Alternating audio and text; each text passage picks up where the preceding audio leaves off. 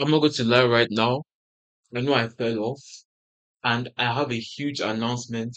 I am going to be moving to Atlanta in a few months. So